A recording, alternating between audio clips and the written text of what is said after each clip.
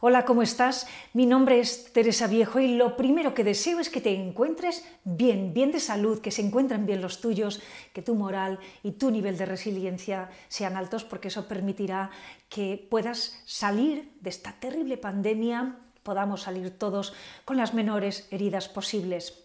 Lo cierto es que el COVID-19 castiga a españoles y a españolas en diferente medida, en algunos casos con ese dolor hondísimo que supone haber perdido a un ser querido y la honda tristeza también desoladora de no poder dar un último abrazo final. En otros casos, pérdida de trabajo, de recursos. Hay familias que ni siquiera pueden alimentar a sus miembros. Y este es el motivo por el cual estoy grabando este vídeo, para compartir contigo una iniciativa muy necesaria llevada a cabo en Madrid por Ibercaja. Su obra social camina de la mano de voluntarios y voluntarias de Cáritas que se han propuesto repartir diariamente 15.000 comidas a 15.000 familias que lo necesitan.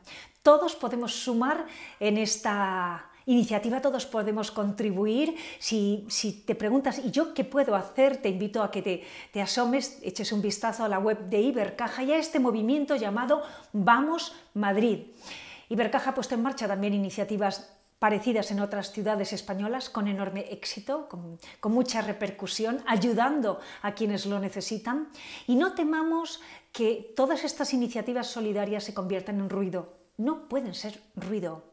Siempre y cuando el ruido es algo que está fuera de nosotros, ¿no? que nos rodea, siempre y cuando todas estas iniciativas tan necesarias nos lleguen al corazón, no pueden ser ruido. No es ruido la solidaridad, no lo es la empatía y desde luego no lo es la compasión que nos debemos unos a otros. Así que vamos Madrid,